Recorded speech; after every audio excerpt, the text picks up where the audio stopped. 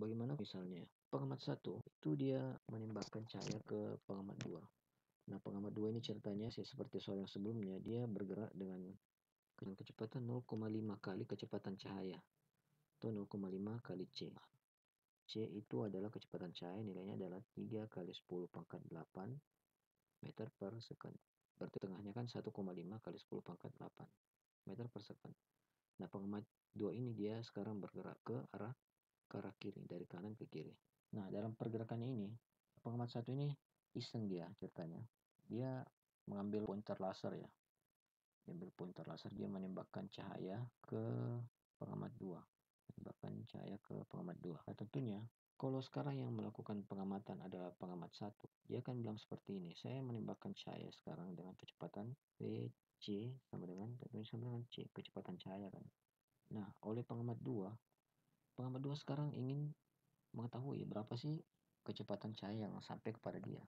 Otomatis dia bisa menggunakan transformasi Galilean dengan bersama seperti ini. V aksen sama dengan uh, C dikurang uh, minus 0,5 C.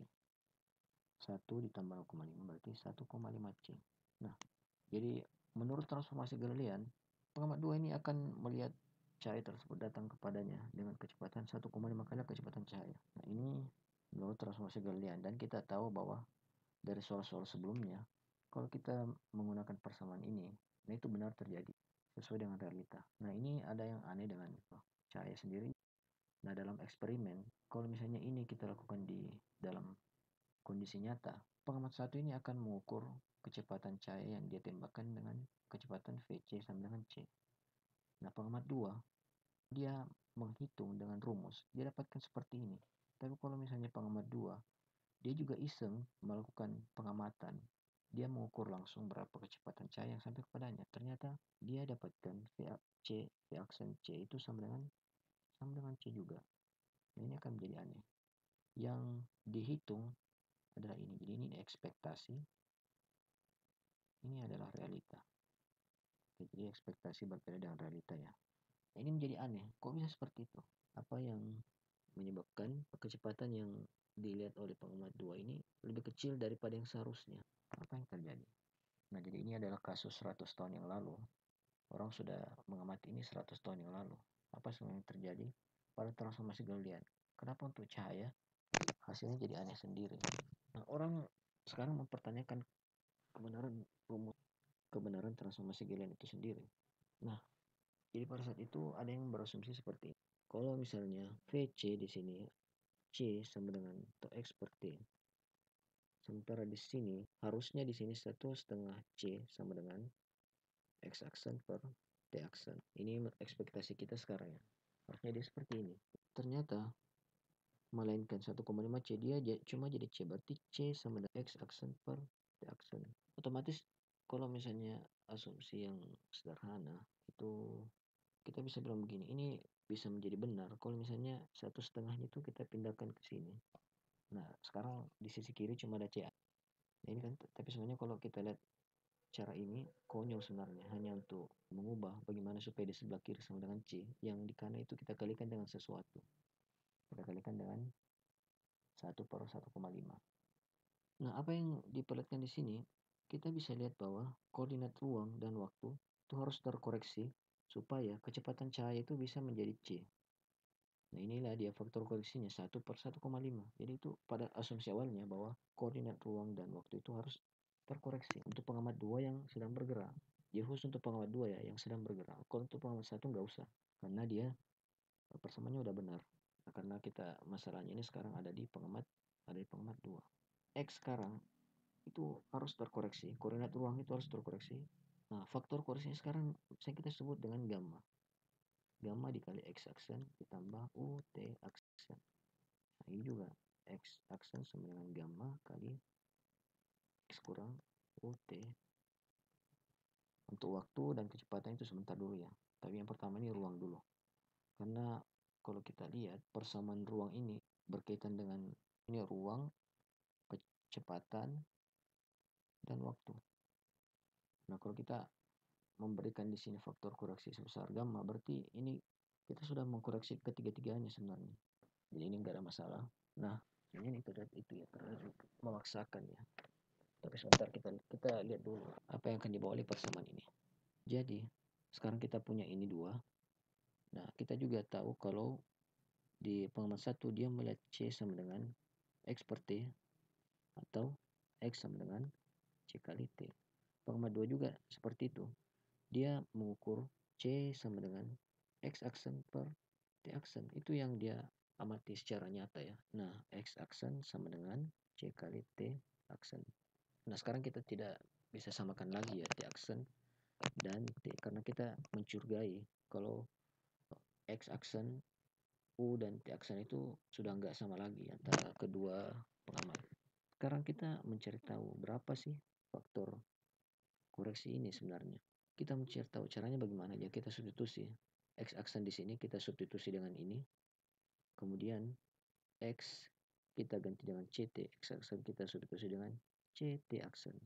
Berarti persamaan kita nanti itu isinya cuma gamma C dan T aksen. C T aksen dan juga U. Nah ternyata gamma itu dia kita substitusi dapatkan seperti ini gamma ternyata adalah sama dengan 1 per akar 1 kurang kuadrat per C kuadrat. C itu adalah kecepatan cahaya dan U itu adalah kecepatan relatif pengamat 2 terhadap pengamat 1 sekarang ini sudah berubah. X sama dengan X aksen tambah UT aksen dibagi dengan akar 1 dikurang U kuadrat per C kuadrat X aksen juga seperti itu X dikurang UT dibagi dengan 1 kurang U kuadrat per C kuadrat bagaimana dengan persamaan waktu Nah, coba kita lihat sekarang. Pada pengamat satu itu berlaku bersama seperti ini. X kan sama dengan CT. Maka T sama dengan X per X per C. T sama dengan X aksen tambah UT aksen dibagi dengan C dikali dengan akar 1 kurang U kuadrat per C kuadrat. X aksen per C itu sama dengan apa? Ingat persamaannya X aksen sama dengan C kali T aksen. Berarti X aksen per C itu sama dengan apa? Sama dengan T aksen ditambah dengan T. Jadi kita tulis saja langsung ini. U T aksen per C bagi dengan akar 1 kurang U kuadrat per C kuadrat. T aksen dibagi C. Dua sisi kita bagi C. Ini X per C. Ini bagi C berarti tinggal T aksen sama dengan X aksen per C ini jadi T aksen sama dengan X aksen per C kita bisa tulis seperti ini T aksen ditambah U X aksen per C pangkat 2 bagi dengan akar 1 kurang U kuadrat per C kuadrat itu langsung aja kayak gini gamma kali T aksen tambah UX aksen per C pangkat 2 kayaknya itu persamaan waktu Nah, sekarang ruang, persamaan ruang, waktu sudah terkoreksi menjadi seperti ini. Bagaimana dengan kecepatan itu sendiri? Nah, pada pengamat satu, kecepatan cahaya itu dia bisa ukur dengan V sama dengan delta X per delta delta X per delta T. Ini misalnya pada saat T sama dengan T1 eh, cahayanya sudah berada pada posisi X1 beberapa saat kemudian cahaya itu ada pada koordinat x2, t2. Dia buat aja seperti ini. x2 kurang x1 per t2 kurang t1. x2 kalau kita menggunakan transformasi kita yang baru itu kan sama dengan x2 aksen tambah u t2 aksen kali gamma kurang gamma x1 aksen tambah u t1 aksen. Bagi dengan t2 kita pakai persamaan ini. Gamma T 2 aksen tambah U X 1 aksen dibagi dengan C kuadrat dikurang gamma T 1 aksen tambah U X 1 aksen ini UX 2 ya sorry. Dibagi dengan C kuadrat. Kita turunkan ya ini gammanya bisa keluar. Gamma X 2 aksen dikurang X 1 aksen. Itu kan sama dengan delta X aksen ya kan? Nah ini juga bisa diubah menjadi delta U kali delta T T aksen. Dibagi dengan gamma kali delta Aksen ditambah U delta X aksen dibagi dengan C pangkat 2 tentu saja sekarang gamanya bisa dihilangkan. Berarti tinggal ini delta X aksen tambah U delta T aksen bagi dengan delta T aksen tambah U delta X aksen bagi dengan C pangkat 2 atas bawah kita bagi sekarang dengan delta T aksen delta X aksen bagi dengan delta T aksen tambah U delta T aksen dibagi dengan delta T aksen ini juga delta T aksen dibagi delta T aksen tambah U delta X aksen per C kuadrat delta T aksen delta X aksen per delta T aksen sama dengan apa? Sama dengan ditambah dengan tambah dengan U karena delta T aksennya mati. T aksen tambah U delta T aksen delta T aksen itu kan sama dengan 1 ditambah delta X aksen dibagi dengan delta T aksen sama dengan V aksen berarti U V aksen dibagi dengan C pangkat 2 jadi sekarang dengan cara yang sama itu kita bisa dapat juga V aksen sama dengan V dikurang U per 1 dikurang U V per C kuadrat. Nah, sekarang kita sudah mentransformasi koordinat posisi, waktu, dan kecepatan. Sekarang kita uji, apakah kalau kita menggunakan persamaan ini, kecepatan cahaya yang dilihat oleh pengamat 1 dan 2 itu bisa sama. Sekarang kita tes. Sekarang yang mengamati itu adalah pengamat 1, berarti dia katakan kalau V sama dengan kecepatan pengamat 2 yang berada terhadap pengamat 1, itu dia 0, minus 0,5 C. Sekarang pengamat 2 menghitung berapa kecepatan cahaya tersebut berdasarkan informasi yang didapat dari pengamat satu. Jadi dia pakai persamaan ini. V aksen sama dengan E dikurang U per 1 dikurang UV per C pangkat 2. Berapa V-nya? V sama dengan C. U sama dengan 0,5 C. Berarti C ditambah 0,5 C. Dibagi dengan 1 kurang U-nya berapa? U-nya adalah minus 0,5 C dikalikan dengan V.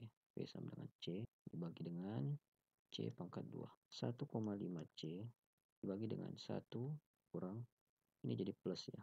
0,5 C pangkat 2 dibagi dengan C pangkat 2 berarti 0,5 berapa sih sekarang? V aksen sama dengan 1,5 C dibagi dengan 1,5 berarti sama juga dengan C.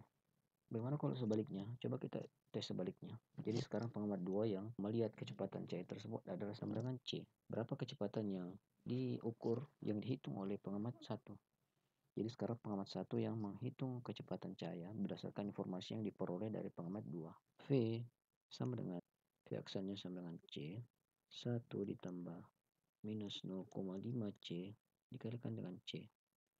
Dibagi dengan C pangkat 2 minus 0,5 C tambah C itu kan sama dengan 0,5 C 1 ditambah C kuadrat per C kuadrat kan habis kan 1 ditambah minus 0,5 sama dengan 0,5 berarti sama dengan C dengan menggunakan transformasi yang kita dapatkan tadi transformasi kecepatan ini itu kita bisa buktikan V itu tetap sama dengan C. Di sini V kecepatan cahaya sama dengan C di sini juga kecepatan cahaya sama dengan C. Nah pertanyaan sekarang adalah bagaimana dengan contoh Misalnya yang contoh awal tadi ya, burung yang terbang atau bola yang dilempar atau roket yang sedang terbang. Kalau kita gunakan rumus yang ini, pengamat 2 sekarang bergerak ke kiri dengan kecepatan U sama dengan minus 5 meter per second. Kemudian dia melihat objek. Objek itu datang terbang ke arahnya dengan kecepatan misalnya 2 meter per second. Nah, ini yang diukur, yang diamati oleh pengamat 2. Nah sekarang pengamat satu dia juga ingin mengetahui berapa kecepatan roket tersebut. Di pengamat satu sekarang dia gunakan rumus yang baru. Nah dia pakai ini V sama dengan U tambah V aksen dibagi dengan 1 tambah U V aksen per C kuadrat. U-nya tentu saja adalah minus 5. Kemudian V aksennya sama dengan 2 dibagi dengan 1 tambah U V. U-nya sama dengan minus 5. V aksennya sama dengan 2 meter per second dibagi dengan C pangkat 2. Yang di atas itu langsung aja, ini minus 3. Dan dibagi dengan 1 tambah, nah ini kita bisa lihat di sini. Minus 5 kali 2 itu kan 10, minus 10. Dibagi dengan C kuadrat. C kuadrat itu 3 kali 10 pangkat minus 8 ini kita pangkat 2 berapa coba nilainya 9 kali 10 pangkat 9 kali 10 pangkat 16 nah itu besar sekali nilainya yang di atas kecil sementara di bawah itu besar sekarang ini bisa kita anggap mendekati 0 atau sama dengan 0 sehingga V nya itu sama dengan minus 3 atau V nya itu sama aja dengan U ditambah V aksen. Ini kita bisa simpulkan bahwa untuk kecepatan rendah kita tidak mengubah transformasi galian. Untuk kecepatan rendah transformasi galian itu enggak enggak berubah sama sekali. Tetap aja V sama dengan V tambah U V aksen sama dengan V kurang U X sama dengan X aksen tambah U T aksen ini juga X aksen sama dengan X kurang U T aksen dan T aksen juga sama dengan T itu untuk pengamat yang bergerak dengan kecepatan rendah atau objek yang bergerak dengan kecepatan rendah kita gantung ini ya U dan V aksen. Kalau perkalian keduanya ini sudah mendekati kecepatan cahaya, maka efek relativistik itu akan semakin kelihatan. Jadi, sekarang kita sudah punya empat persamaan baru. Gamma sama dengan 1 per kar 1 kurang U kuadrat per C kuadrat. Mana U itu adalah kecepatan relatif antara pengamat satu dan pengamat lainnya. Oke, jadi kita bisa lihat ya dari transformasi ini, itu kita mencurigai ini X aksen U dan T itu harus terkoreksi dan kita lihat dari penurunan persamaan ini ternyata yang terkoreksi itu cuma x aksen, t aksen dan v-nya. Jadi cuma posisi, waktu dan kecepatan. Kecepatan apa? Kecepatan objek yang bergerak terhadap kedua pengamat tersebut. Sedangkan kita lihat dari persamaan ini, u itu ternyata nggak berubah.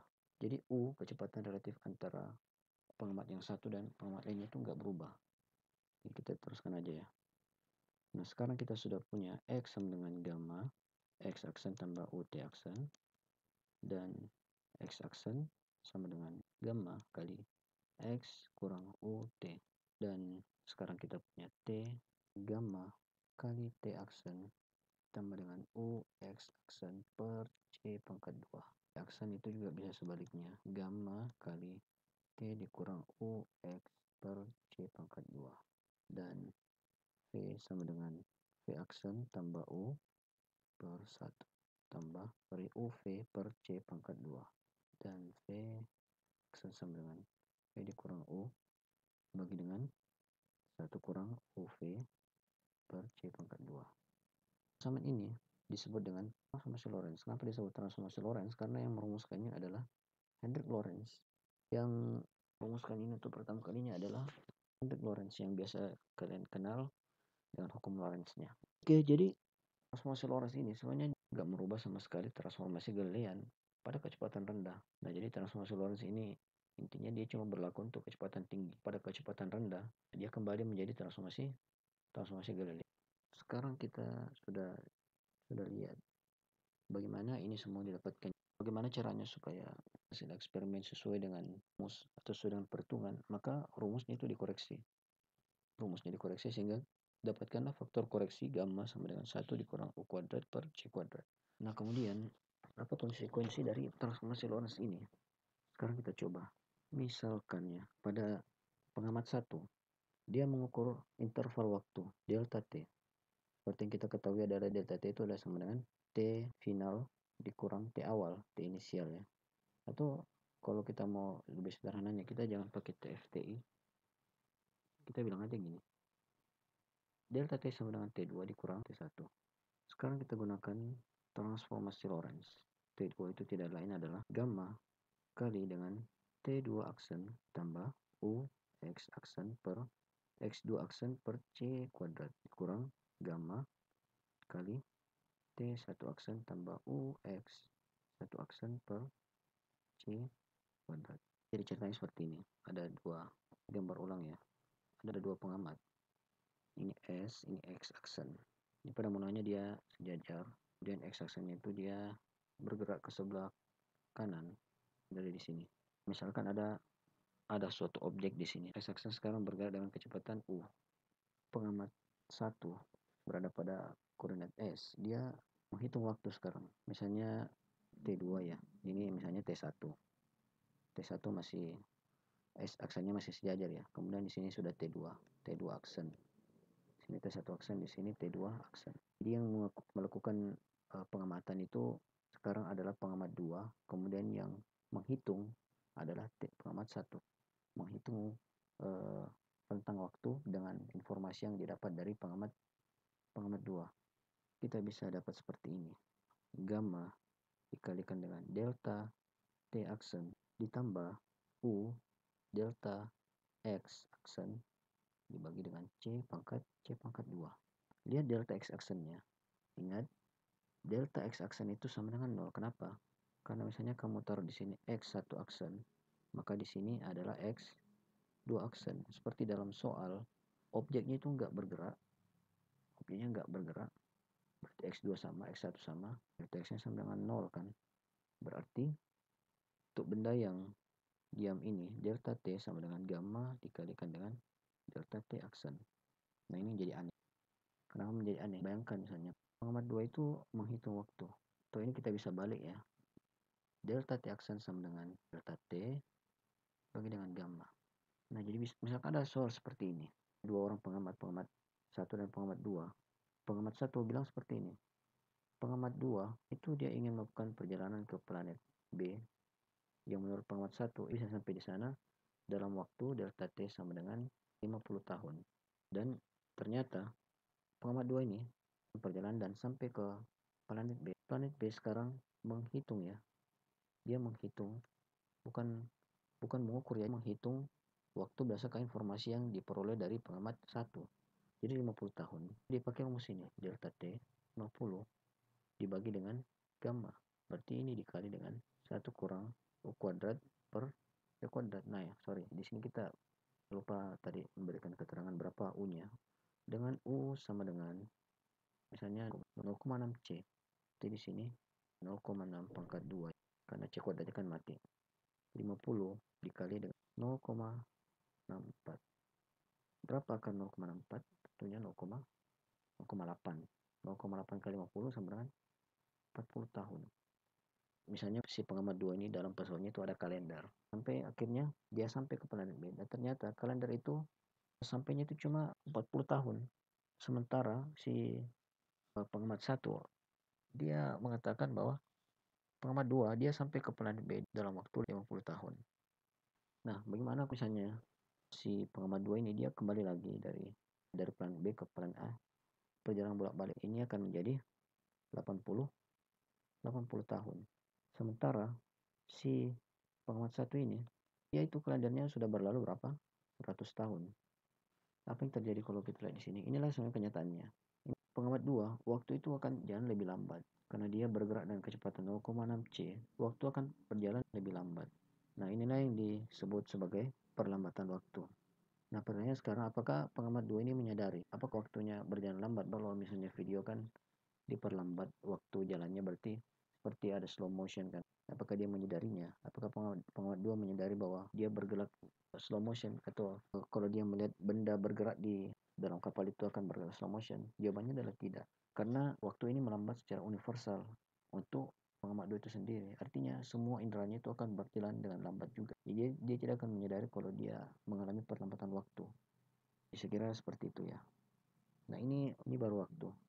Bagaimana dengan panjang? Nah kembali ke soal tadi pengamat satu di bumi, dia tahu kalau jarak antara A dan B itu adalah sama delta X sama dengan U dikali dengan delta delta T. Sementara jarak yang dihitung oleh pengamat 2 itu delta X aksen sama dengan U kali delta T aksen juga. Misalkan kita punya soal seperti seorang pengamat di bumi mengetahui bahwa jarak antara planet A dan planet B itu ada delta X sama dengan 1000 gigameter. Kemudian pengamat 2 itu dia bergerak dengan kecepatan U sama dengan 0,6 C. Nah pertanyaan sekarang, kalau misalnya pengamat 2, dia mau mengukur jarak antara A dan B berdasarkan informasi yang didapat dari pengamat A, berarti dia harus gunakan rumus ini. Delta X aksen sama dengan U dikali delta T aksen, di mana delta T aksen sama dengan delta T dibagi dengan dibagi dengan gamma. U dikali delta T itu kan sama dengan delta X. Nah, delta X-nya adalah 1000 1000 gigameter. Sementara gamma, seper gamma, satu per gamma itu tidak lain adalah ini. Sama kan tadi. Akan 0,64 atau 0, langsung aja 0, 0,8.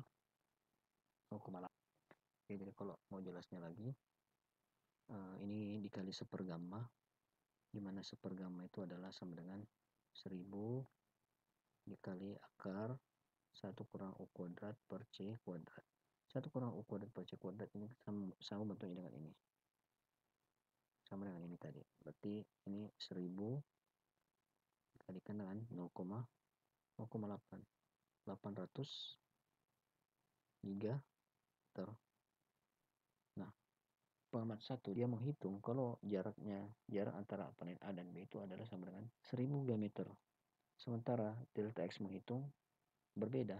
Ternyata dia cuma dapatkan jarak tempuhnya itu adalah cuma 800 gigameter aja apa yang terjadi? Terjadi pengkerutan atau pemendekan, pemendekan jarak atau pemendekan ruang selama ia bergerak tadi. Jadi kelihatan di sini ya. Ini kita bisa sebut dengan kontraksi ruang. Oke, jadi tadi sudah ada perlambatan waktu, ada juga namanya kontraksi ruang. Dan ini eh, ini hanya akan terjadi kalau pengamat tadi itu bergerak dengan kecepatan yang tinggi relatif terhadap kecepatan cahaya ya. Kalau misalnya dia cuma bergerak dengan kecepatan rendah, berarti gammanya ini akan menjadi satu. Kecepatan rendah gamma itu sama dengan satu. Tidak akan terjadi yang namanya efek perlambatan waktu dan kontraksi ruang itu sangat kecil sekali atau hampir dikatakan tidak ada. Dan pada kecepatan rendah itu kita bisa sebut juga pada kecepatan rendah transformasi Lorentz itu itu kembali menjadi transformasi Galilean jadi nggak ada yang berubah